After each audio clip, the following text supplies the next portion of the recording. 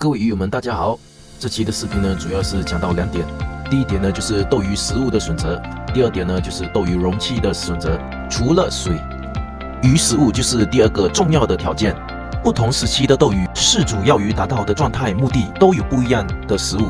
幼鱼的食物，小编会在繁殖系列时一一列出水和食物，还有一些需要注意的细节。这一期主要是针对成年的斗鱼，也就是四个月以上的斗鱼。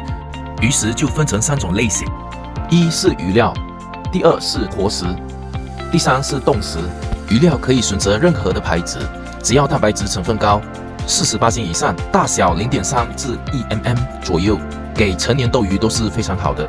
一天喂食一到两次，五至八粒左右，或是一至五分钟内吃完的分量为佳。记得吃不完的饲料要捞出来，避免影响水质。小编自己进来给成年豆使用的鱼料是 Sea Master 零点三 mm 的和 Marubini 海王六号。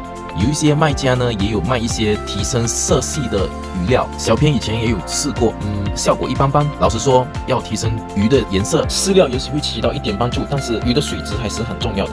可以去看看小编这一个 Room 斗鱼的视频，看看如何提色，效果会更好一些。毋庸置疑。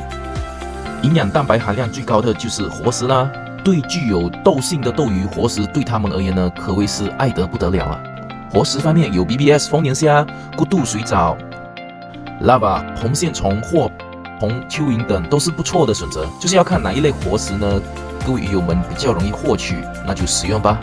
冻食方面就是比活食容易储存，而且处理不当患病的风险呢，也相对的比活食来的低。蛋白含量比。鱼料来得高，不过呢，价格也比鱼料来得高。对小片而言，斗鱼喂鱼料和冻食呢是最方便而且最容易获取的。除了担心自己对活食处理不当，存放鱼料和冻食也相对的容易。斗鱼呢，其实对一些蔬菜也并不抗拒。如果斗鱼面对一些便秘的问题呢，有些鱼友会给斗鱼吃蔬菜。蔬菜的种类呢，比如豌豆、生菜等等。好了，这期的视频就说到这里，谢谢大家，拜拜。